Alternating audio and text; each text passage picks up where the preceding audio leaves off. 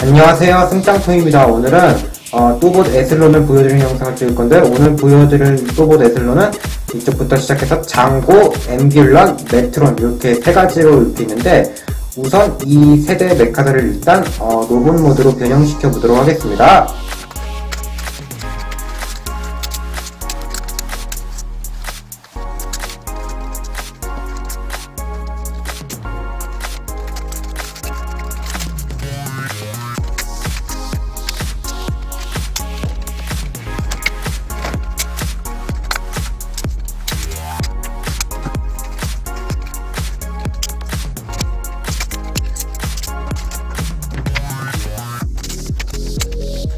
자 이렇게 장고, 엠뷸런, 메트론을 이렇게 로봇 모드로 변형시켰습니다.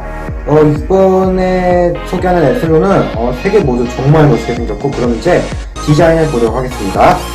자 우선 장고 우선 장고는 일단 머리 같은 경우에는 일단 모니터 face 얼굴에 약간 마스크 디자인의 얼굴로 되어 있고 위에 약간 어, 카우보이 같은 느낌의 모자가 이렇게 어, 씌워져 있는 게 굉장히 매력적이게 생겼고 그리고 두 손에는 이렇게 어, 쌍권총 에이스 매그넘이 이렇게 있습니다. 그래가지고 이렇게 적하고 싸울 때 이 쌍권총을 탕탕 이렇게 쏴서 공격할 수 있고 아니면은 이렇게 에이스 매그넘을 손에 쥐고 있지 않을 때는 어, 뒤쪽에 이렇게 어, 이렇게 홈 같은 게 있거든요. 여기다가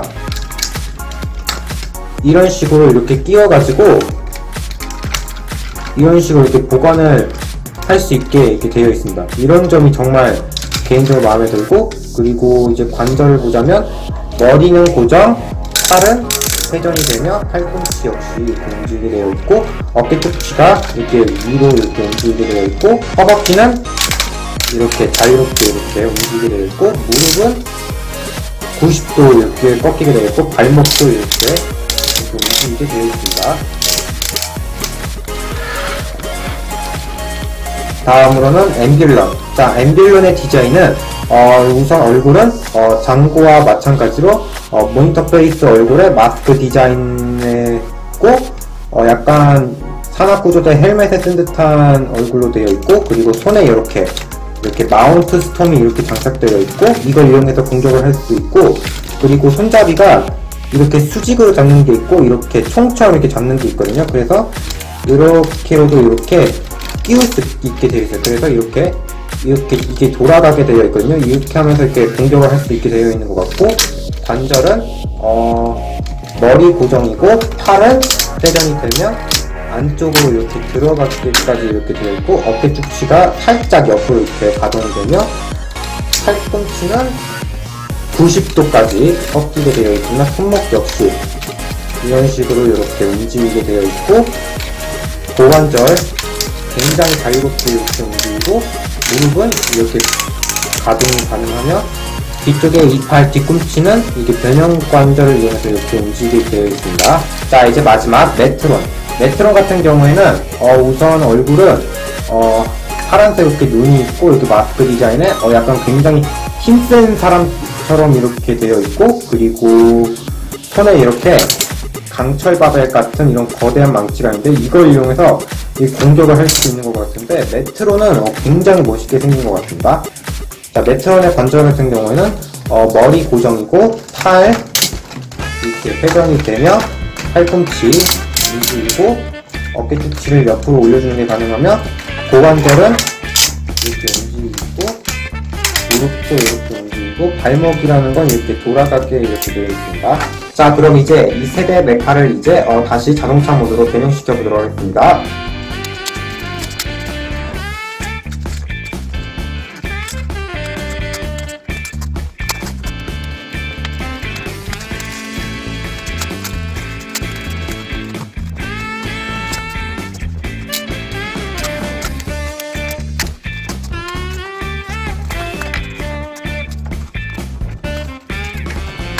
자 이렇게 장고, 엠뷸런, 메트론을 이렇게 각자 vehicle로 이렇게 만들었습니다.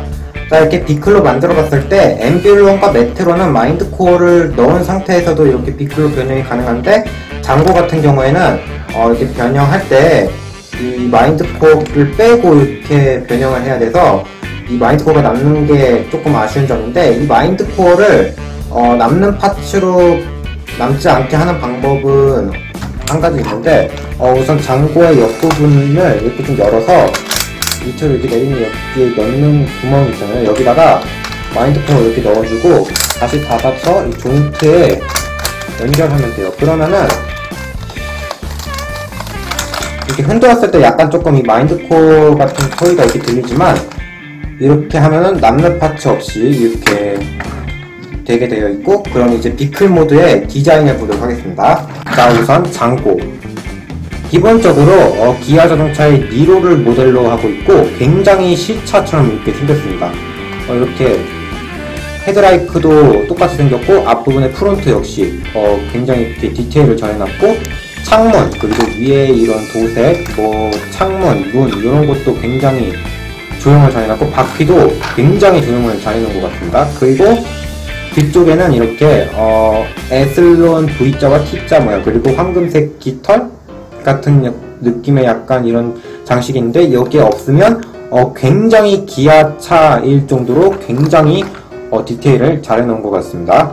다음은 앰뷸런 어, 산악구조 지프차처럼 생긴 것 같고 우선 프론트는 이렇게 약간 좀 휠 같은 게 이게 U자 이렇게 되어 있고 그리고 헤드라이트가 이렇게 있고 그리고 위에 이렇게 어, 경광등이 이렇게 있고 그리고 산악구조대답게 옆에 이렇게 mountain rescue라고 이렇게 되어 있고 하얀색 라인 그리고 여기 하얀색 십자가 그리고 여기에 산 모양의 어, 주황색 십자가 표시. 이게 굉장히 마음에 드는 것 같고 바퀴도 굉장히 이렇게 조형을 잘 해놓은 것 같아서 산에 이렇게 올라갈 때 울퉁불퉁한 길도 충분히 어, 잘 갈 수 있을 것 같고 뒤쪽에도 이렇게 어, 이렇게 어, 번호판 부분에도 이렇게 레스큐라고 이렇게 적혀져 있고 그리고 엠빌런 같은 경우에는 비클 모드에서 한 가지 더 변형하는 방법이 있는데 어, 우선 뒤쪽에 이 부분을 잡고 이렇게 당겨준대요. 그런 다음에 이 접혀있는 이 부분을 이렇게 딱 펴서 180도 눌러주고 이 회색 부분들을 이렇게 빼서 날개로 만들어주면 돼요. 그런 다음에 밑에 바퀴를 이 휠 부분이 밑을 향하게 해서 이렇게 내려준 다음에 마운트 스톰을 분리해서 수직으로 이렇게 다시 끼워주고 마운트 스톰을 이렇게 다 펴주면 짜잔 이렇게 헬리콥터 모드로도 이게 변형이 가능해요. 저는 엠뷸런 처음 샀을 때 어, vehicle 모드에서 이 헬리콥터가 굉장히 멋있더라고요. 이렇게 제가 헬리콥터를 좋아하는 편이라서 어, 에슬론이 이렇게 3단 변신 없을 줄 알았는데 엠뷸런은 있더라고요 보니까 확실히 엠뷸런은 자동차 모드보다 이렇게 헬리콥터 모드가 훨씬 더 멋있는 것 같아요. 그래가지고 이제 이제 사람을 태우고 이제 어 이제 이렇게 하늘을 이렇게 날 수 있게 되어 있는 것 같고 아무튼 굉장히 멋있게 생겼습니다. 자 이제 마지막 메트로. 어 메트로 같은 경우에는 지하철처럼 생겼고 어 서울에 있는 메트로 전철이랑 완전 똑같이 생겼고 그래서 이렇게 헤드라이트 똑같고 파란색과 이 빨간색 라인 굉장히 똑같이 생겼고 그리고 옆부분도 굉장히 어, 똑같이 생겼습니다. 어, 다만 이 밑에 이 부분이 약간 좀 다른 것 같긴 한데 그래도 굉장히 조형을 잘 해놓은 것 같고 뒤쪽도 굉장히 이렇게 똑같이 생겼는데 이 부분 같은 경우에는 밑부분이 약간 좀 발목이 살짝 보여가지고 어, 이 부분은 좀 보는데 좀 호불호가 좀 갈리는 것 같고 이 부분에서 봤을 때는 밑에 이런 게 있어가지고 굉장히 지하철 조형을 굉장히 잘 해놓은 것 같고 이건 진짜 개인적으로 정말 역대급인 것 같습니다.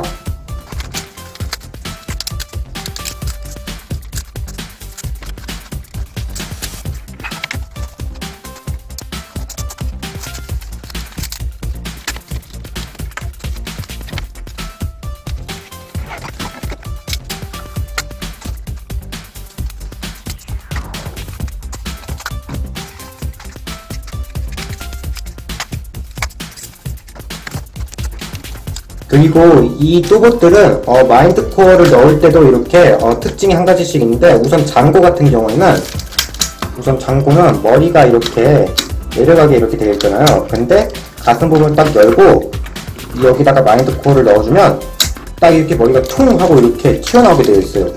어, 요거는 굉장히 약간 좀 세타랑 약간 비슷한 느낌인 것 같고 그리고 엠빌런 같은 경우에는 이 부분을 열어서 마인드 코어를 넣으면 되는데 마인드 코어를 넣게 되면은